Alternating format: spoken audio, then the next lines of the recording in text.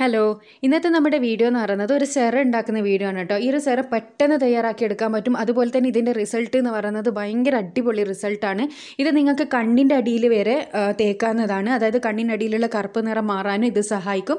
അതുമാത്രമല്ല നമ്മുടെ മുഖത്ത് അവിടെ എവിടെയായിട്ടുള്ള കറുത്ത പാടുകൾ കരിവാളിപ്പെല്ലാം മാറി നല്ല സ്കിന്നിന് കറക്റ്റായിട്ടുള്ള ഒരു ഈവൺ ആയിട്ടുള്ള ഒരു വൈറ്റ് കളറ് കൊടുക്കാനും സ്കിന്നിന്റെ ഒട്ടുമിക്ക എല്ലാ പ്രശ്നങ്ങൾക്കും പരിഹാരം കാണുന്ന ഒരു നല്ല സെറാണ് ഇത് ഇത് പെട്ടെന്ന് തയ്യാറാക്കി എടുക്കാനും പറ്റും. അതേപോലെ തന്നെ ഒരിക്കൽ തയ്യാറാക്കിയാൽ നമുക്ക് ഒരു മാസമോളം ഇത് കേടാകാതെ സൂക്ഷിക്കാനും പറ്റും.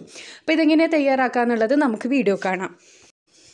അപ്പോൾ ആദ്യം തന്നെ നമുക്ക് വേണ്ടത് അലോവേര ജെല്ലാണ് കേട്ടോ. ഒരു ടേബിൾ സ്പൂണോളം അലോവേര ജെല്ല്. ഞാനിപ്പോൾ ഈ ഉണ്ടാക്കുന്ന അളവ് എന്ന് പറയുന്നത് ഏകദേശം ഒരു പത്ത് ദിവസത്തിന്റെ മേലെ വരെ യൂസ് ചെയ്യാനുള്ള അളവേ ഉണ്ടാവും കേട്ടോ.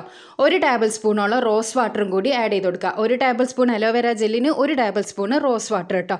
അതിലേക്ക് കാൽ മുതൽ അര ടീസ്പൂൺ വരെ നിങ്ങൾക്ക് കസ്തൂരി മഞ്ഞൾ അല്ലെങ്കിൽ നമ്മളെ വീട്ടിൽ തന്നെ ഉണക്കി പൊടിച്ച മഞ്ഞൾപ്പൊടി അത് യൂസ് ചെയ്യുക. ഈ രണ്ടിൽ ഏതെങ്കിലും ഒന്ന് യൂസ് ചെയ്യണം കേട്ടോ. പാക്കറ്റിൽ വരുന്ന യൂസ് ചെയ്യാൻ പാടില്ല. അതായത് പാക്കറ്റിൽ വരുന്ന കറിയിൽ ഉപയോഗിക്കുന്ന മഞ്ഞൾപ്പൊടി യൂസ് ചെയ്യരുത്.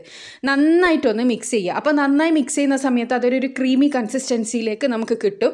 പക്ഷേ നമുക്ക് അങ്ങനെ ക്രീമി ആയിട്ടല്ല വേണ്ടത്.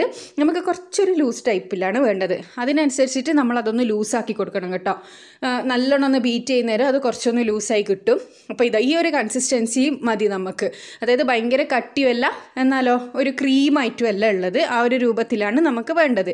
ഇത്രയേ ഉള്ളൂ. ഈ ഒരു മൂന്ന് സാധനം ഉപയോഗിച്ചിട്ടാണ് നമ്മൾ ഈ സെറം തയ്യാറാക്കിയത് ഞാൻ പറഞ്ഞല്ലോ കണ്ണിന്റെ അടിയിൽ നിങ്ങൾ ഉപയോഗിക്കുന്ന സമയത്ത് ഒരു കോട്ടൺ ഡിപ്പ് ചെയ്തിട്ട് ഈ ഒരു ക്രീം കോട്ടണിൽ ഡിപ്പ് ചെയ്തിട്ട് കണ്ണിന്റെ താഴെ വെക്കുകയാണ് ചെയ്യേണ്ടത്. കണ്ണിന്റെ ഉള്ളിലാവേണ്ട കേട്ടോ. മഞ്ഞളുള്ളത് കൊണ്ട് ചെറുപ്പം എരിയാൻ സാധ്യതയുണ്ട്.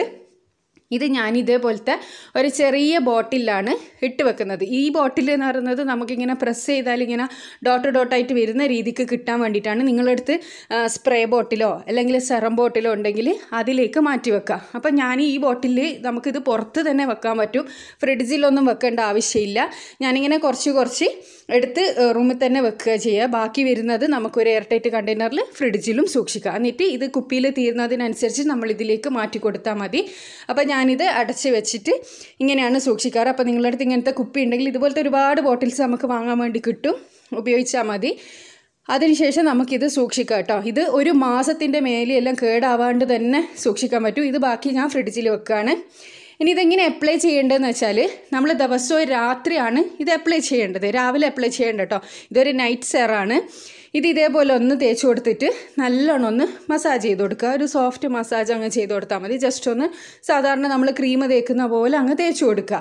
പിന്നെ ഞാൻ പറഞ്ഞല്ലോ കണ്ണിന്റെ അടിയിൽ തേക്കുന്ന സമയത്ത് ഒരു കോട്ടണിൽ ഈ ഒരു ക്രീം കുറച്ച് ഡിപ്പ് ചെയ്തിട്ട് അതായത് ഈ സെറം ഡിപ്പ് ചെയ്തിട്ട് കണ്ണിന്റെ താഴെ ഇങ്ങനെ വെച്ച് കൊടുത്താൽ മതി. ഇത്രയേ ഉള്ളൂ. ഇതിങ്ങനെ അങ്ങ് തുടച്ചാലിട്ടാൽ മതി. കഴുകി കളിയൊന്നും ചെയ്യേണ്ട. രാവിലെ എണീച്ചിട്ട് സാധാരണ നമ്മൾ മുഖം കഴുകുന്ന സമയത്ത് അങ്ങ് മുഖം കഴുകിയാൽ മാത്രം മതി.